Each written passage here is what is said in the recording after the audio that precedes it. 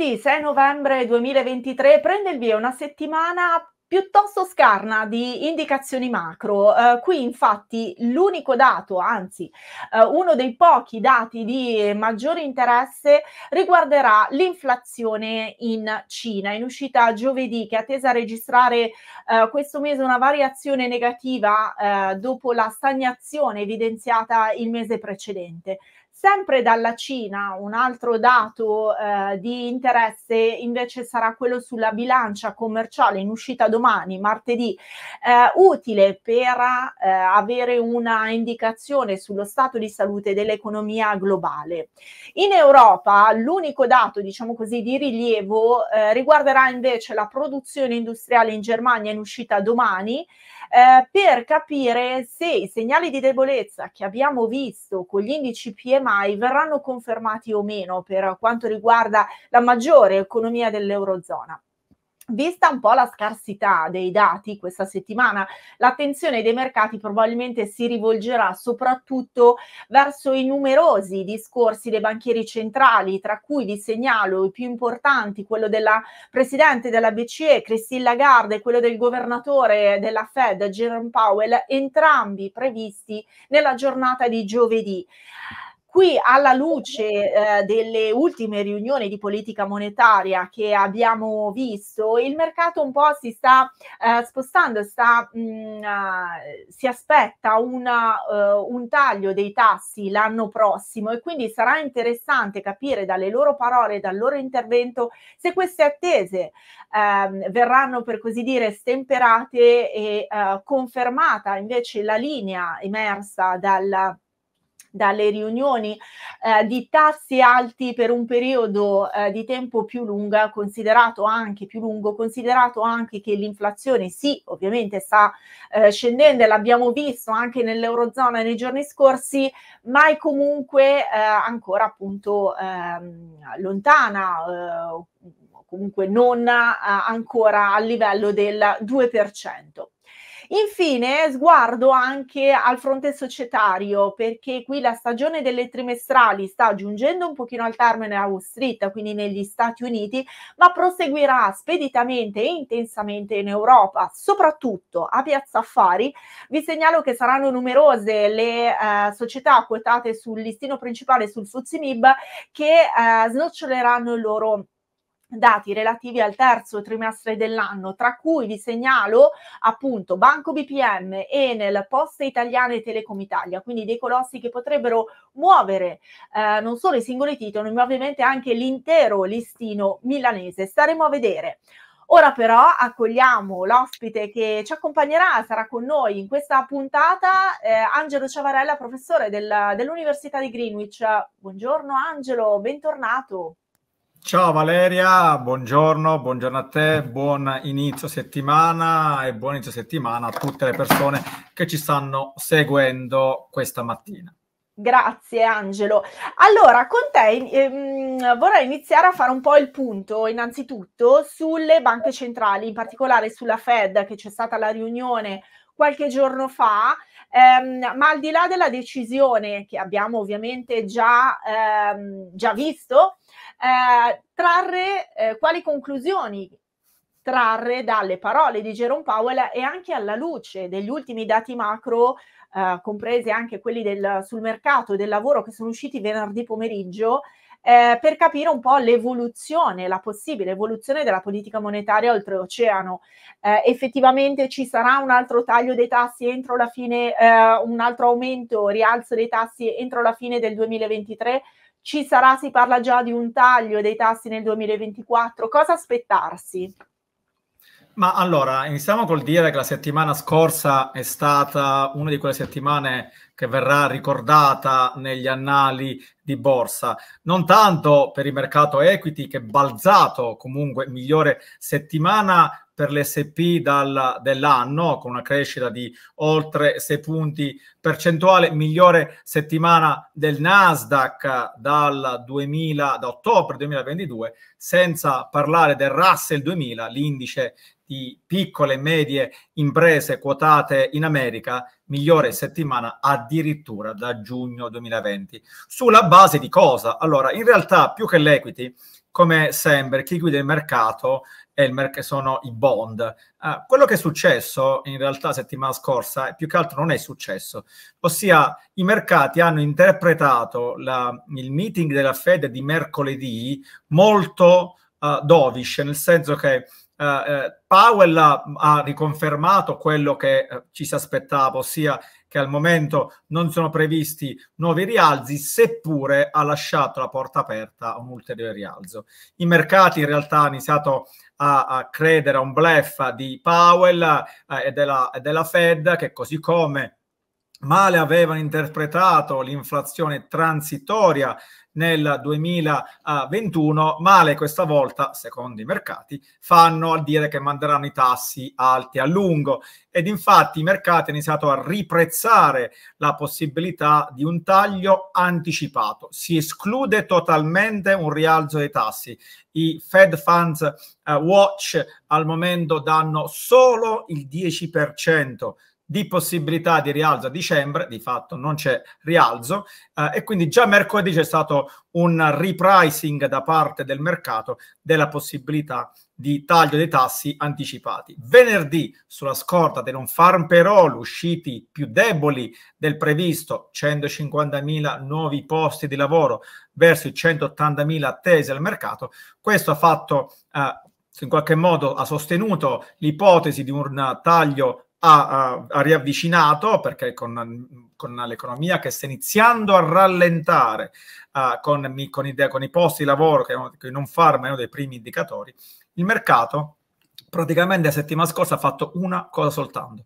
Ha apprezzato la, prima di tutto un uh, taglio dei tassi da parte della Fed a giugno, da parte della BCE addirittura ad aprile e sempre in estate da parte della banca centrale inglese. Fin qua non, non è che sarebbe cambiato tanto. In realtà, quello che è stato il grandissimo market driver è che i mercati hanno prezzato, prezzano in questo momento la possibilità di un taglio dei tassi l'anno prossimo di 100 punti base in Europa, 100 punti base in America, 70 punti base in Inghilterra. Tradotto in soldoni vuol dire che questo, real, questo taglio di hanno aggiunto a 36 punti base di uh, taglio, di altri 40 punti base di ulteriore taglio nel 2024, questo ha, ha, dovuto, ha comportato un repricing di tutte le asset class. In particolare, oltre che tanto il, l'equity, secondo me il grande ah, diciamo, la prima pagina dovrebbe essere de- dedicata ai bond. In dieci anni, il, il 10 anni americano ha perso 50 punti base in due settimane. Tra le altre cose ha perso 36 punti base in tre giorni e il più grande movimento a ribasso dei rendimenti del decennale americano, che ricordiamo è il benchmark un po' dei mercati mondiali, uh, tre, meno 36 punti base non accadeva da 12 anni se escludiamo il Covid. Il TLT, che è, il, l'ETF uh, che si basa sui bond di lunga scadenza americana, non soltanto ha avuto la miglior salita dei tre giorni da ottobre 2022, ma attenzione, il più alto volume di scambi nella sua storia.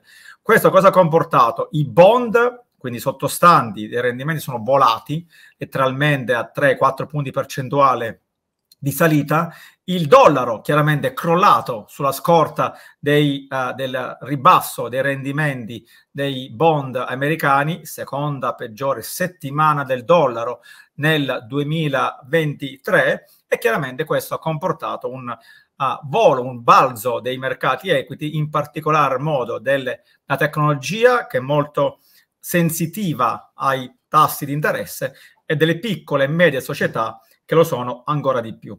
Questo in soldoni, quello che è successo settimana scorsa. Bene, hai fatto quindi un quadro molto ampio, Angelo. Ehm, per riassumere, quindi anche sul, per quanto riguarda la BCE, taglio dei tassi nel 2024, anche qui le attese sono eh, in quella direzione, eh, ma volevo chiederti diciamo una, una, valutazione, una considerazione anche sulle, eh, sui segnali che abbiamo ehm, ricevuto dal fronte macro, perché l'inflazione l'abbiamo vista, eh, è sui minimi da due anni, quindi la traiettoria della discesa è ormai eh, imboccata. Qui forse il vero rischio, Angelo, si sta spostando sul fronte del, del PIL, quindi della forza dell'attività economica, con questo rischio recessione che è forse più concreto in Europa, oppure no?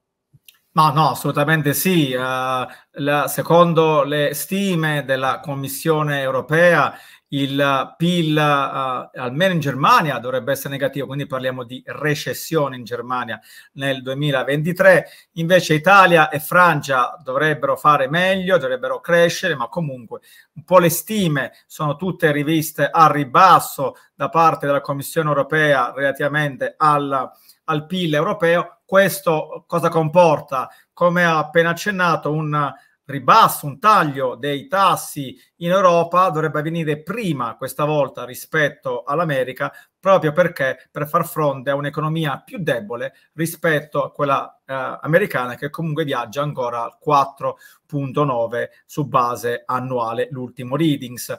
Di conseguenza, mentre in America dovrebbero tagliare i tassi a giugno barra luglio in Europa, secondo le stime, uh, secondo il mercato almeno uh, dei bond, dovrebbero avere il primo taglio dei tassi, dovrebbe arrivare addirittura ad aprile. Mm. Bene, bene. Um, Angelo, andiamo a vedere questi mercati perché poi nel frattempo, eh, mentre ci delineavi un po' il quadro e riassumevi la situazione, sono arrivate già alcune domande per te. Allora, iniziamo a vederle insieme. La prima, ehm, chiede, buongiorno Valeria, può chiedere al professor Ciavarella come vede il settore bancario europeo e in particolare quello italiano al momento le banche europee hanno sovraperformato le banche americane. Ci può spiegare la motivazione? Gran bella domanda. Gran bella domanda. Allora, uh, iniziamo col dire che uh, fino alla, prima metà dell'anno, quindi uh, fino a giugno, barra luglio, l'Italia aveva sì sovraperformato i competitors europei a livello di borsa, ma più o meno, insomma, non di tanto. Adesso invece, se andiamo a vedere la performance del nostro Fuzzi MIB rispetto al DAX, c'è praticamente l'abbiamo doppiati. Finalmente, lo dico con grande soddisfazione, l'Italia sta sovraperformando tutti i grandi listini europei, sia la Germania, che fa solo più 9 da inizio anno, e anche il K40 che era volato prima fino all'estate, spinto dal lusso, da, in particolar modo da eh, il grande lusso, tutti i grandi del lusso sono la maggior parte quotati in Francia, Louis Vuitton, eh, NC, Chandon, tra le altre cose, era diventata in estate la più grande società capi- a capitalizzazione in Europa, arrivando a 500 miliardi, è crollata, adesso sta sui 3,70, 3,80, scalzata uh, in maniera forzata da Novo Nordisk, la prima società europea per capitalizzazione che poi conoscono, la farmaceutica danese che insomma vola sulle ali del, uh, del, del, farmaco per ridurre l'obesità. Quindi detto questo, superato Germania, superata Francia, l'Italia sta sovraperformando. Come giustamente ha sottolineato uh, uh, il telespettatore, il grande, il grande merito vale banche, il settore bancario italiano. L'Italia è composta fondamentalmente da banche, insurance company, qualche industriale e i big da energia Eni ed Enel.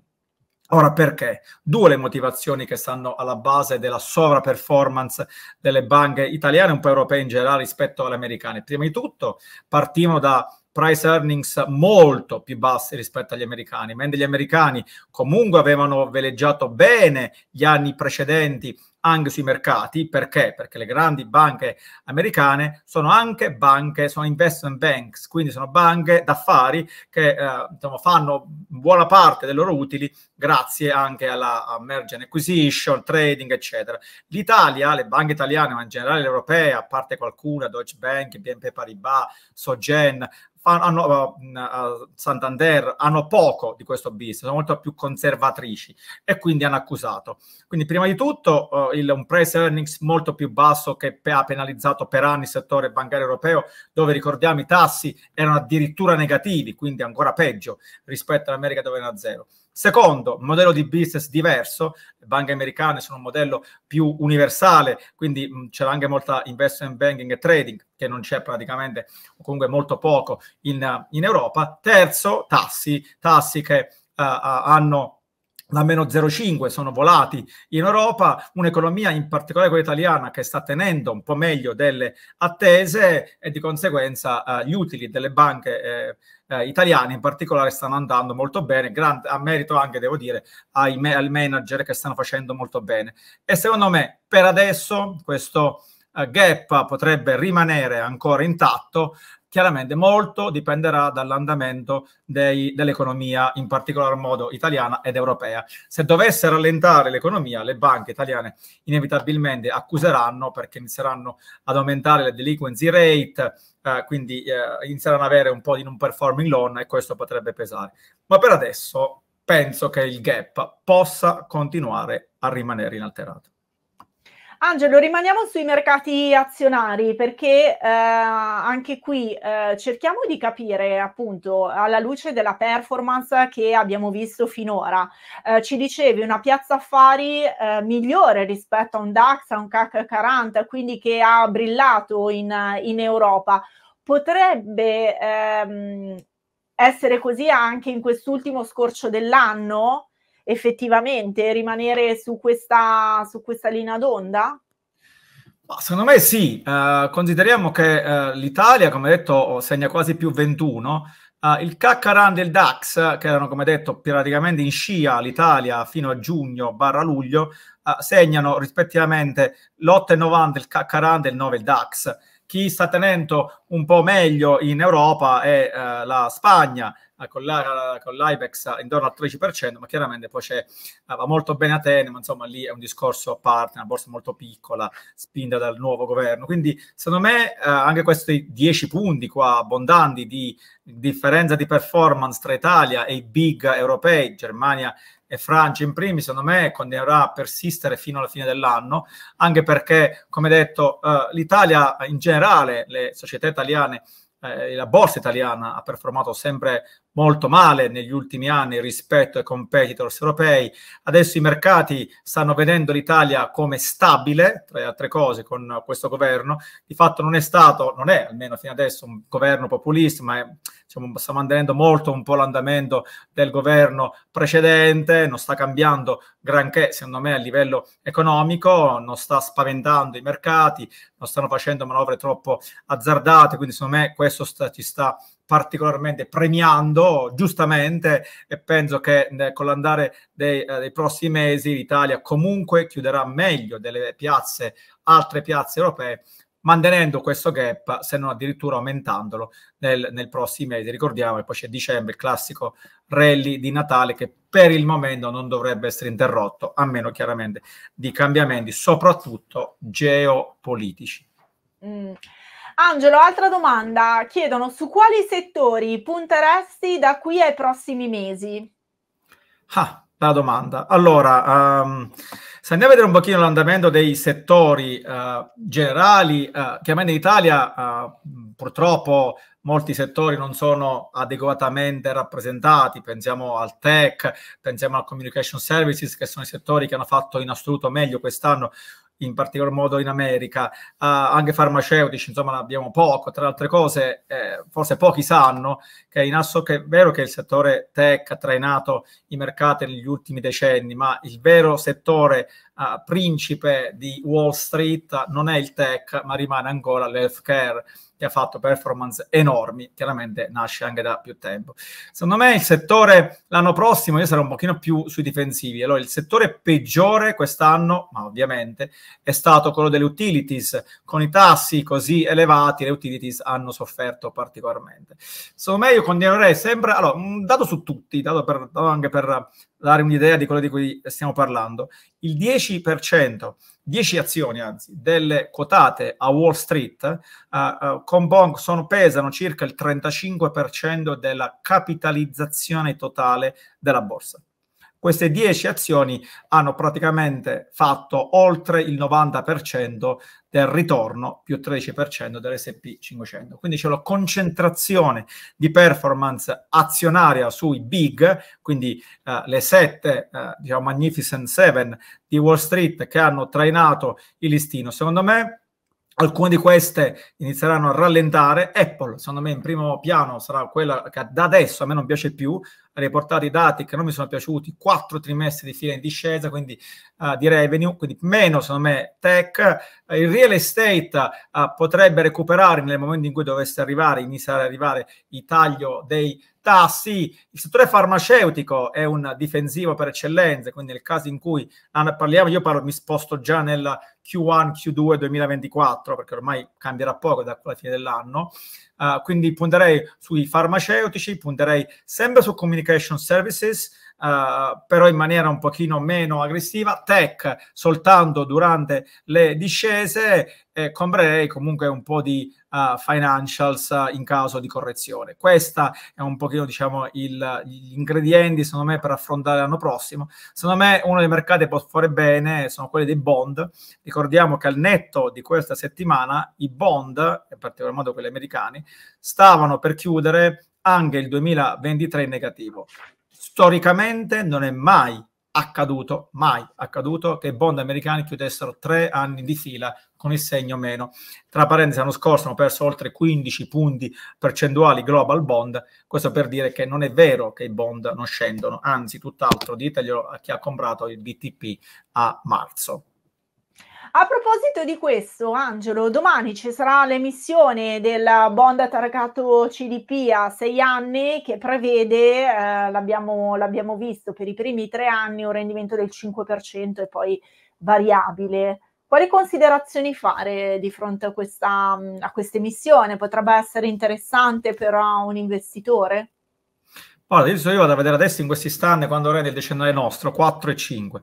Quindi boh, CDP è praticamente eh, rischio semi-zero, diciamo in qualche modo, no? Quindi a rischio bassissimo, mi sembra un buon una buona cedola su tre anni, poi chiaramente si slega quello che diciamo là, il fisso per andare un po' sul variabile, mi sembra un buon investimento, sempre da non esagerare, però loccare un 5% a questi prezzi a tre anni eh, a me non sembra sbagliato, tra altre cose nel percorso uh, del professore che è chiamato così sulla chat di Telegram dove uh, faccio analisi quotidiane uh, per le persone che mi seguono sui mercati, ho iniziato a prospettare l'acquisto di bond quando il nostro decennale è arrivato a 4,8, 4,9, stessa cosa per il decennale americano. Secondo me loccare a due o tre anni questi prezzi e questi rendimenti mi sembra un buon prendere, sempre senza esagerare. Di conseguenza questo di CDP mi sembra un buon strumento, non ho mai consigliato a chi mi segue, lo sa bene, il, il BTP fino all'ultima emissione e così mi sento di consigliare anche questa volta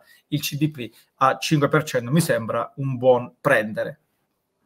Bene, altra domanda per te Angelo, andiamo a vederle insieme.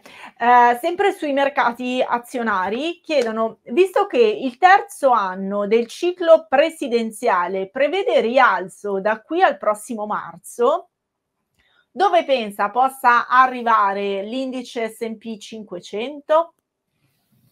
Ah, tutte domande interessanti, tutte preparatissime persone che ci seguono. Ma questa è una domanda chiaramente da un milione di dollari, no? È difficile dire. La mia view uh, personalmente è che l'indice possa spingersi sui massimi dell'anno a chiusura 2023, uh, eh, però sono scettico sull'anno prossimo. Uh, diciamo, io farei una sovrapposizione di bond rispetto a equity, una delle poche volte diciamo, in cui espongo in questo modo, perché penso che l'economia, uh, cioè adesso il mantra qual è?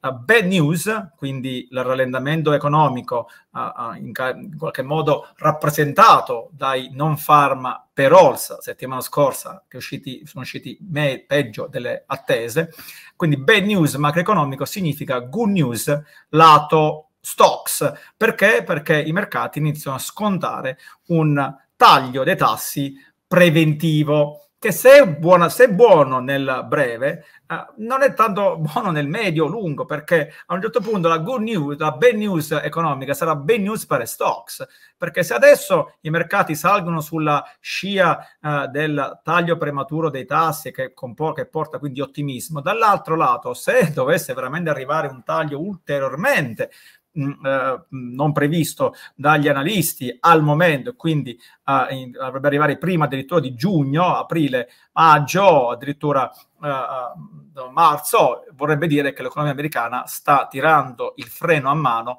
e non sta rallentando come le attese. Di conseguenza a quel punto le bad news uh, macroeconomiche saranno bad news per l'azionario. Quindi uh, io penso che l'anno prossimo queste performance, uh, eh, soprattutto in America, eh, ma anche secondo me in Europa, ce le dimentichiamo, a doppia cifra dappertutto, con Nasdaq addirittura più 30, spinto da artificial intelligence. Occhio, tra le altre cose, il 21 novembre arrivano i dati dell'ultima Magnificent Seven che mancano, forse la più importante, anzi la più importante, che è Nvidia, che è la capostipite dell'artificial intelligence, perché al momento eh, grande, buona parte del mercato americano è salito sulla scorta dell'artificial intelligence. La domanda corretta, secondo me, sarebbe è prezzato adeguatamente il settore artificial intelligence oppure eh, inizia a diventare troppo costoso? Ecco, secondo me questa è domanda importante anche per uh, il settore tech, che di fatto ha guidato il listino, uh, una concentrazione su sette azioni come adesso raramente è capitato, la cosiddetta breadth di mercato sta venendo a mancare, tutta concentrazione performance in 7-10 titoli, non aiuta secondo me in generale il mercato azionario. Uh, secondo me con il SP potrebbe, potrà continuare se ci sarà una settimana di consolidamento, secondo me non a questi prezzi, tra 4,3 e 4,4, poi potrebbe esserci rottura di 4.004 e uh, estensione fino a 4,5, 4,550. Questo potrebbe essere la view da qua a fine anno, uh, al netto di uh, aumenti del rischio geopolitico, di estensione, escalation del conflitto che avrebbe evidentemente effetti negativi, anche perché al momento il rischio geopolitico non è assolutamente prezzato dal mercato, basta vedere il petrolio che sta a 81 dollari, molto più basso rispetto all'inizio della guerra. L'anno prossimo invece, parte gennaio, che potrebbe essere un mese forte, storicamente mese, uno dei mesi migliori, poi prevede un po' di debolezza da lì uh, in avanti fino almeno alla primavera. Mm. Angelo, a proposito di, um, di, ultimi movimenti che abbiamo osservato, nel corso della settimana abbiamo visto un oro chiudere sopra i 2000 dollari all'oncia. Quali considerazioni fare qui di fronte a questo movimento? È da acquistare? È da vendere? Che fare? Ma allora, eh, io come sempre, solitamente, raramente cioè, prendo posizione, però stavolta ho preso posizione un po' su diversi asset class, considerando quello che è successo. Uh, io personalmente, la mia view, chiaramente solo a titolo personale, sono ribassista sul gold, uh, ho una posizione personalmente ribassista sul gold a 1,995, con stop non troppo lontano, 2,20. Uh, mi aspetto una discesa del gold. Allora, sicuramente il gold eh, è stato aiutato, anzi è l'unico asset che è volato per un riprezzo un repricing del rischio. Il gold era 1820, ha messo sul 10% in due settimane e mezzo da quando è scoppiata la guerra. Ovviamente il gold scendeva, come era giusto che fosse, con i tassi al 5%, con i rendimenti al 5% decennale, non vedo perché si debba mantenere il gold che non rende niente, non, uh, diciamo, non stacca dividendi, non ha cedole, è un non yielding asset, quindi un mondo di rendimenti che ci sono dappertutto, non ha senso mantenere il gold in mano. La salita del gold, il 10%, è stata dovuta esclusivamente appunto al rischio geopolitico. Um, è singolare che la settimana scorsa, dove il gold è crollato, dove il dollaro è crollato, solitamente il gold uh, dovrebbe uh, prendere, recepire positivamente la discesa del dollaro, il gold ha fatto, gold ha fatto spallucce e anzi uh, questa settimana già sta scendendo. Io sono quindi per concludere, ribassista sul gold al netto, chiaramente anche qua di escalation geopolitiche. Se la, il conflitto dovesse rimanere in qualche modo circoscritto a, Israele e uh, Hamas, non dico neanche la Palestina, ma Hamas, uh, penso che il gold possa iniziare a perdere terreno. Viceversa, questo poi chiaramente è difficile, non, non si può sapere, se dovesse allargarsi al Libano anche soltanto, senza magari arrivare all'Iran, ma agli Hezbollah, a quel punto il gold sicuramente uh, spungerebbe da ulteriore parafulmine geopolitico. Chiaro, chiarissimo Angelo. Eh, siamo agli ultimi minuti, ma è arrivata un'altra domanda, quindi la vediamo. Eh, chiedono invece per quanto riguarda la Cina, vista mm. la politica di easing quantitativo della Cina, eh, pensi che possa essere interessante investirci, visti anche i livelli raggiunti? Che domande ragazzi, è super. Eh, queste domande mi pongo anche io spesso. Allora, sulla Cina è un po' complesso, abbiamo poco tempo, però al volo uh, molti investitori stanno guardando di maniera poco, uh, diciamo, uh, felice l'andamento della Cina. Io sono un po' controcorrente uh, e comunque la seconda economia più grande al mondo ha subito delle discese dovute sia a dei crackdown politici, sia chiaramente al mercato immobiliare che ha accusato, Soros diceva da 3-4 anni, tra le altre cose, che sarebbe sceso. Uh, la mia view personalmente sul mercato cinese è un po' controcorrente, io sono favorevole a, soprattutto ai big della, dei tech e parlo di Alibaba che è uno dei miei preferiti. In Cina penso che uh, Alibaba prezza per far, fare un, cioè un com- confronto con Amazon tipo 10-15 volte meno i price earnings, quindi non ha senso secondo me, non ho senso questi prezzi dei big cinesi, c'è il rischio geopolitico, c'è la correzione uh, economica, lo stimolo cinese non è del governo, non è ancora uh, molto significativo, ma secondo me dopo questo bagno che sono presi, io sarei investitore in Cina, attento in particolar modo alle big tech che fanno numeri pazzeschi e sono assolutamente sottoprezzate. Possono rimanere per molto tempo? Sì, ma secondo me prima o poi gli investitori si renderanno conto delle opportunità, almeno in alcuni settori, che il, eh, la borsa cinese offre. Bene Angelo, grazie mille, abbiamo risposto a tutte le domande, il tempo a nostra disposizione è volato letteralmente, quindi Angelo ti ringrazio per essere stato con noi oggi a Weekly Bell, grazie per il tuo tempo. Grazie, grazie Valeria, grazie a te, grazie a WeWealth e grazie ovviamente a tutte le persone che hanno avuto diciamo, il tempo uh, per seguirci e per dedicarci un po' del loro tempo questa mattina. Grazie e buon inizio di settimana a tutti.